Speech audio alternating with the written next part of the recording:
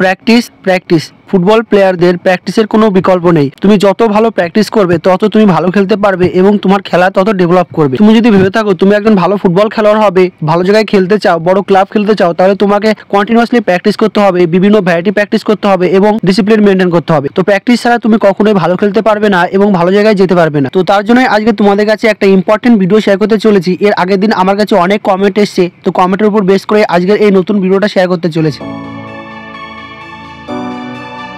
Hello বন্ধুরা, তোমাদের সবাইকে আমার S M football journey YouTube চ্যানেলে আসার জন্য ধন্যবাদ জানাই। তো বন্ধুরা, তোমরা দেখতেই পাচ্ছ, আমি এখন জাগলিং প্র্যাকটিস করছি। আমি একটু ইন্ডিভিজুয়াল প্র্যাকটিস করছিলাম এখনই, তো আমি একটু স্কিল প্র্যাকটিস করছি এখন বল কন্ট্রোলিং পায়ে স্কিল বাড়ানোর জন্য বল কন্ট্রোলিং বাড়ানোর জন্য। তো তোমাদের কাছে আজকে একটা নতুন ইম্পর্টেন্ট ভিডিও শেয়ার করতে চলেছি। এর আগের দিন ভিডিওতে আমাকে কমেন্ট করেছে অনেকেই। তো যে কমেন্ট করেছে, সেটা হচ্ছে পায়ের অলসতা বা জড়তা কাটানোর জন্য প্র্যাকটিস মানে আমাদের দুর্বল পাকে উন্নত করার জন্য। তো আজকের এই ভিডিওতে আমি তোমাদেরকে ইম্পর্টেন্ট চারটে প্র্যাকটিস দেখাতে চলেছি। তোমরা কন্টিনিউয়াসলি ইন্ডিভিজুয়াল প্র্যাকটিসে গিয়ে নিয়ম মাফিক যেভাবে বলব, সেইভাবে প্র্যাকটিসগুলো করবে। টাইম ধরে তাহলে দেখবে এক মাসের মধ্যে তোমার রেজাল্ট পেয়ে যাবে। দেখবে তোমাদের পায়ের জড়তা, অলসতা এবং তোমাদের দুর্বল পা আগের থেকে অনেক ইম্প্রুভ করেছে। তো চলো বন্ধুরা, আজকের ভিডিওটা দেখা যাক। দুর্বল পাকে উন্নত করার জন্য ইম্পর্টেন্ট চারটে প্র্যাকটিস নাম্বার ওয়ান সবার প্রথমে তোমরা যে প্র্যাকটিসটা করবে দুর্বল পাকে উন্নত করার জন্য পাকে ইমপ্রুভ করার জন্য এবং স্কিল বাড়ানোর জন্য, তো সেটা হচ্ছে ইনসাইড আউটসাইড তো তোমরা এই প্র্যাকটিসটা কীভাবে করবে তোমরা দেখতেই পাচ্ছ অলরেডি এই ভিডিওতে প্র্যাকটিসটা আমি করছি। তো তোমরা সবার প্রথমে ডিস্ক পাতিয়ে নেবে সাত আটটা ডিস্ক বা মার্কিং করে নেবে, ঠিক যেভাবে আমি করেছি এই ভিডিওতে তোমরা দেখতেই পাচ্ছ।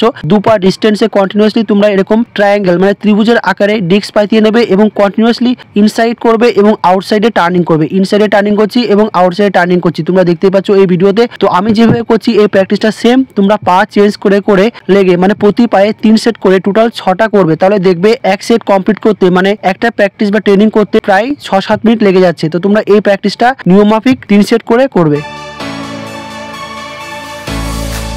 নাম্বার টু দ্বিতীয় তোমরা যে প্র্যাকটিসটা করবে, প্রথম প্র্যাকটিসটা হয়ে গেলে সেটা হচ্ছে আউটসাইড আউটসাইড তোমরা দেখতেই পাচ্ছ এই ভিডিওতে প্র্যাকটিসটা আমি করছি। তো দুর্বল পাকে উন্নত করার জন্য এবং পায়ের স্কিল এবং বল কন্ট্রোল বাড়ানোর জন্য দ্বিতীয় তোমরা আউটসাইড আউটসাইড এই প্র্যাকটিসটা করবে। তো যে মার্কিং আমি করে নিয়েছিলাম, ঠিক সেই মার্কিংয়ে আমরা যে পায়ে বল নিয়ে যাব, তার উল্টো পায়ে একটা আউটসাইড হবে। তোমরা দেখতেই পাচ্ছ এই ভিডিওতে আমি যে পায়ে বল নিয়ে যাচ্ছি, তার উল্টো পায়ে একটা আউটসাইড হচ্ছে। তো তোমরা যখনই আউটসাইড করবে, তো তখন একটা উল্টো দিকে একটা ফেন্ডিং করবে। এটা একটা স্কিল খেলার সময় তোমরা এরকম ফেন্ডিং আউটসাইড স্কিল ইউজ করে ইজিলি ম্যানকে ডিবল করতে পারবে। তো পায়ে বল কন্ট্রোলিং বাড়ানোর জন্য অবশ্যই তোমরা এই প্র্যাকটিসটা তিন সেট করবে।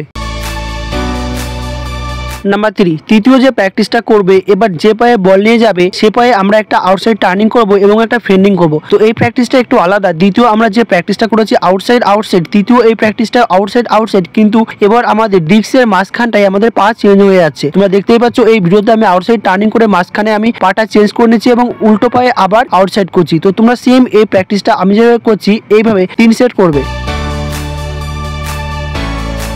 নাম্বার ফোর চতুর্থ যে শেষ ইম্পর্টেন্ট প্র্যাকটিসটা দেখাতে চলেছি, পায়ে বল কন্ট্রোল এবং স্কিল বাড়ানোর জন্য, দুর্বল পাকে উন্নত করার জন্য, সেটা হচ্ছে এবার ইনসাইডে টার্নিং এবং আউটসাইডে টার্নিং এবার ফুল টার্নিং হবে। তোমরা দেখতেই পাচ্ছ এই ভিডিওতে প্র্যাকটিসটা আমি করছি। আমার যে ডিস্ক পাতানো ছিল, ঠিক সেই ডিস্কেই আমি প্র্যাকটিসটা করছি। মানে প্রতিটা ডিস্কে প্র্যাকটিসটা এবার হবে টার্নিং প্র্যাকটিস হবে। মানে ফার্স্ট ডিস্কে তোমরা ইনসাইডে টার্নিং করলে, তারপর একটা আউটসাইডে টার্নিং করবে। তো এইভাবে এই প্র্যাকটিসটা কন্টিনিউয়াসলি তোমাদের তিন সেট করতে হবে। তো তুমি যদি পায়ে বল কন্ট্রোলিং এবং স্কিল বাড়াতে চাও, তাহলে তোমাকে এই প্র্যাকটিসগুলো অবশ্যই সপ্তাহে দুদিন করতে হবে। যে স্কুলগুলো তোমাদেরকে আমি দেখাচ্ছি বা দেখালাম, এগুলো হচ্ছে গ্রাসরুট স্কিল মানে ছোটবেলা থেকে এই স্কুলগুলো শেখানো হয়। তো ছোটবেলা থেকে এই স্কুলগুলো যারা যারা শেখে, তাদের পায়ে বল কন্ট্রোল এবং স্কিল তাদের খেলা অনেকই আলাদা, তোমরা দেখে থাকবে। তো ছোটবেলা থেকে যদি তুমি এই স্কুলগুলো ট্রেনিং করতে থাকো গ্রাসরুট থেকে, তাহলে দেখবে তোমার পায়ে বল কন্ট্রোল স্কিল তোমার পা থেকে সহজে কোনো প্লেয়ার বল নিতে পারবে না।